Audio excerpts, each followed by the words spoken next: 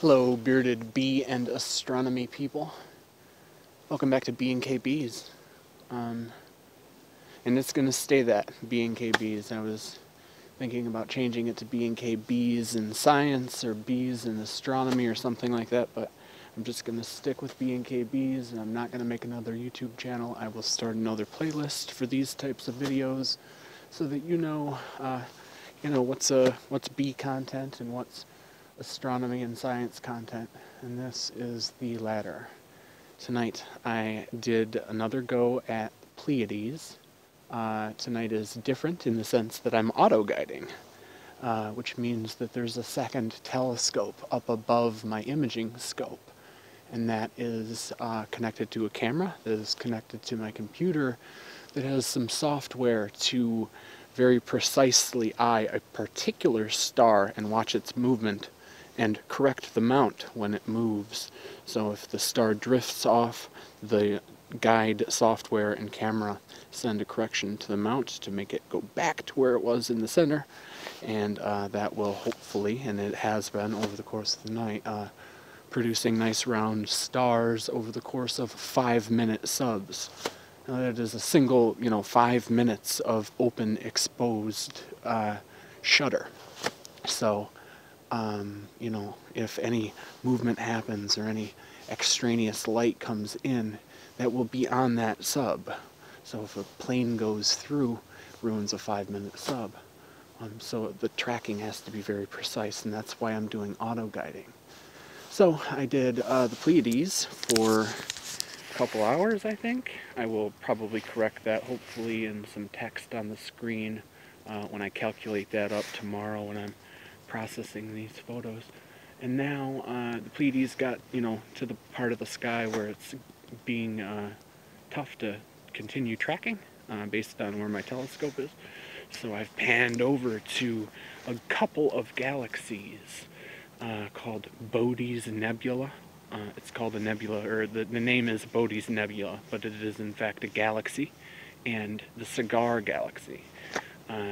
I don't know a whole lot about them, to be honest. I know Bode's Nebula is about 12 million light years away. It's pretty tiny. It's in the northern part of the sky. It's actually right off the tip of the Big Dipper, as if the Dipper was full of galaxies, and the first two to fall out were Bode's Nebula and uh, the Cigar Galaxy. So I am tracking that uh, at ISO 400 for five minute exposures. I set it to 18 of them. Um, so that's what, two hours. Um, yeah, hopefully I'll get a good image, a nice crisp stars, you know, nice round small stars and some decent uh, detail in those galaxies.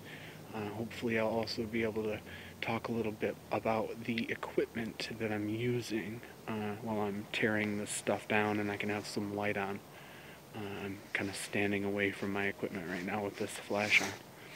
So, yeah, I will uh, check you when I'm tearing down the equipment and can have some light over there. Okay, I'm not quite done taking exposures yet, but the the ones that I have so far look really, really, really good. Uh, and I found out a little bit more. I educated myself a little bit more on the objects that I'm imaging, and I wanted to say the cigar galaxy, the skinny one in the image, is really unique in the sense that it's a starburst galaxy. It's the closest starburst galaxy to the Milky Way, so it's kind of the prototypical uh, example. And what that means is that it's had so much interaction with Bode's Nebula, the nearby galaxy, the other galaxy in the image, that the material that it's interacting with uh, has created this large swath uh, kind of going at a 90 degree angle from the rest of the galaxy. So hopefully my image shows that a little bit. If not, I will, uh, I'll kind of dub in some Hubble uh, evidence for you because when in doubt, you know, check Hubble. But I thought you might think that was cool. Okay, so this is the setup. Um, I have an 80 millimeter refractor there, And on the top is my guide scope. The, the refractor is an Explore Scientific Essential Series uh, ED80. It's a triplet apochromatic refractor. And then up here is my guide scope, a 50 millimeter William Optics guide scope. Attached to that is an Orion Star Shoot auto guider. And that's connected to the scope. And that's what I was talking about earlier, or to the uh, mount, sorry. And that's what I was talking about earlier. A special program on that computer down there uh, was watching a particular star very closely uh, through that scope and making sure that it stayed centered. And when it didn't when it when it drifted off into one direction or the other it would send a correction to the mount just in time to keep the stars in the overall image uh, nice and round. So hopefully I'll have a really nice image to show you um, I should because that is Bode's Nebula in full zoom. I can zoom out here and open this up. There are the two. So hopefully I've got something much greater than that to show you. But this is a single uh, five minute subframe. And what you see there is the camera taking dark frames, which are a way to figure out the camera's uh, the inherent noise in the camera, the camera, the noise in the camera that is always there.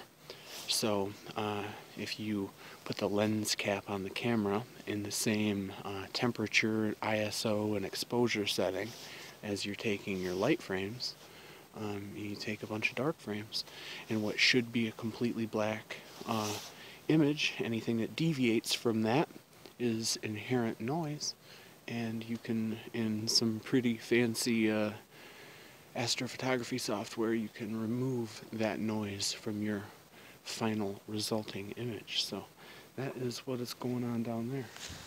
So yeah, um, the imaging camera is a Nikon D5300 and that would have connected right in there. It was connected in there about three minutes ago. So uh, we got jumble of wires and all that kind of stuff that I'm going to start bringing inside. So as I always say, thank you very much for watching. Um, I hope you guys are liking these kinds of videos because I'm going to keep making them. I love bees, but I also love astronomy and astrophotography and lots of other uh, areas of science that I'd love to share with you guys. So let me know what you think. Uh, yeah, let me know if you've got a scope or if you have any questions about astrophotography because I would love to chat about it. So thanks for watching. Get out there and look up and uh, have some fun with your bees. I don't know. I've got to figure out a way to close these videos out. But have a good night. See ya.